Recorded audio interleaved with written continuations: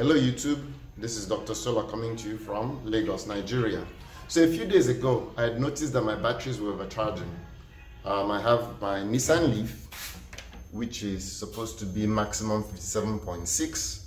I was getting to 59 and change, which is not good for these batteries.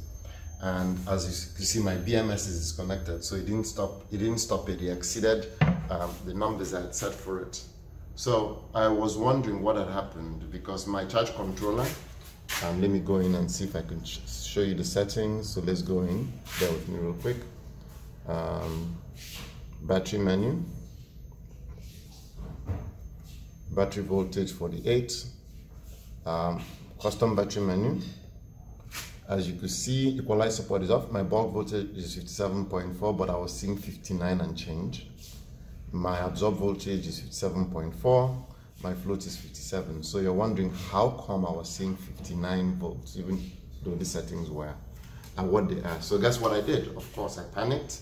I turned my pv off and um, i turned everything off. I pulled the breakers off started the controller again and then the next day did the same thing. And then i started going to look into my settings to find out what i had done wrong and there is a setting in this thing. Let me see if I can show it to you. So let's go into the menu again. Uh, no, wrong button.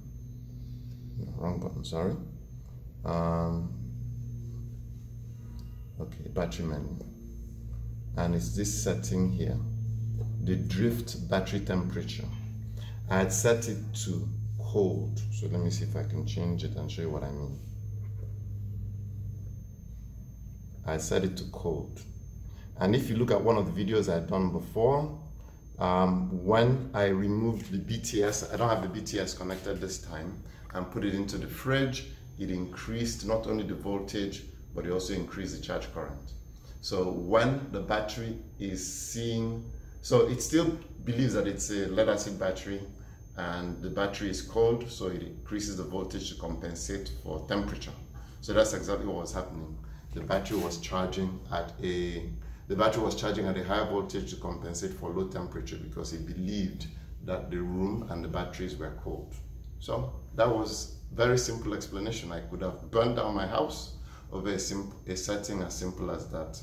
Um, the BMS is going to come back on. We are buying a new one because we had a conflict between our um, battery monitor and the BMS and one would work, the other wouldn't work. So we will get that resolved. One thing I need help on is my BMV never resets to zero. Let me see, yeah, never resets to zero. I'm going to correct this too. Okay, so my batteries will charge and they will come back. The lowest I've seen is minus 15, minus, sorry, minus 12. Even though all the voltage parameters I set on it have, you know, all the voltage parameters I set have been met. So if you know what I can do to correct that where once the battery is fully charged, my battery monitor resets to zero. Please post it below. Let me see, yeah, post it below. Let me see, do you see my thumb? Yeah, post it below so that I know um, I can correct it and get correct readings from it. So once again, this is Dr. Solar coming to you from Lagos. If you've yet to subscribe, please click the subscribe button. If you like what you see, do give me a thumbs up. Thank you for watching